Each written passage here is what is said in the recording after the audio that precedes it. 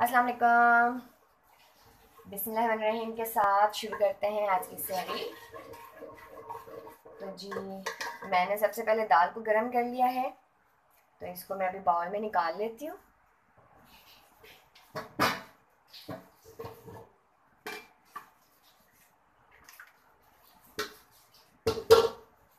ये जी, दाल हमने गर्म कर ली है। दही मैंने रात को जमा दिया था। और दही जम गया है।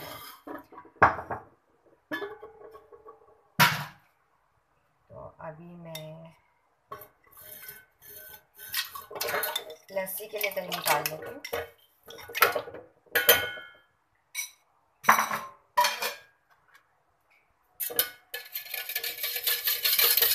लस्सी बनाने से मेरा दिल चाह रहा है लस्सी पीने का ना, नमकीन लस्सी। थोड़ा पानी डाल के इसको बना के मैं रख देती हूँ और इसके अंदर आइस में डालूँगी थोड़ी देर के बाद, जब मैं पराठे बना लूँगी।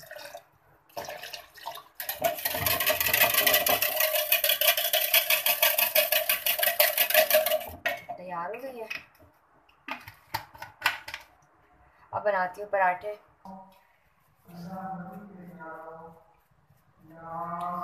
जी, हमारे मस्जिद में मौजन भाई उठ गए हैं।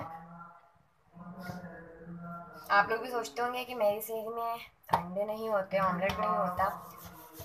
असल में हमारे घर में कोई भी अंडा नहीं खाता। शहरी में तो बिल्कुल भी नहीं। ऐसा लगता है जैसे कोई सज़ा है और बिल्कुल भी नहीं बनता। चटनी देते हैं आप अचार दे दें, सालन, कुछ भी दे दें, दही दे दें, लेकिन आटा आज बहुत सख्त हुआ है। और इसकी रोटी बिल नहीं रही है। और इससे पहले जो दो रोटियाँ मैंने बनाई उसका आटा इतना सॉफ्ट था।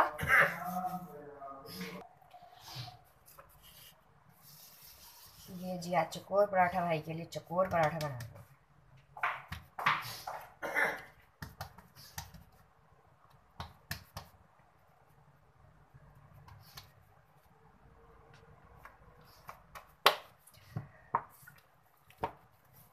दूध वाला भी आया नहीं है।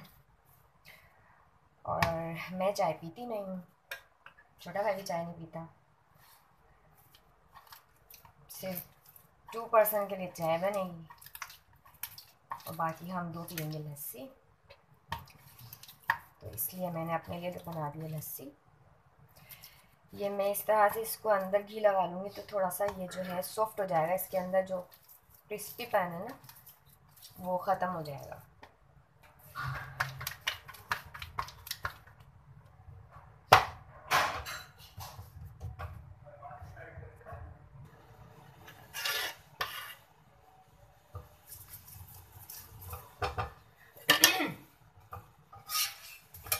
मैं थोड़ी सी खैनी बनाऊँगी। ज़्यादा इसलिए नहीं बनाती कि सब नहीं खाते। बस थोड़ी सी बनाऊँगी। एक भाई नहीं खानी होती है बाकी कुछ चख लेता है।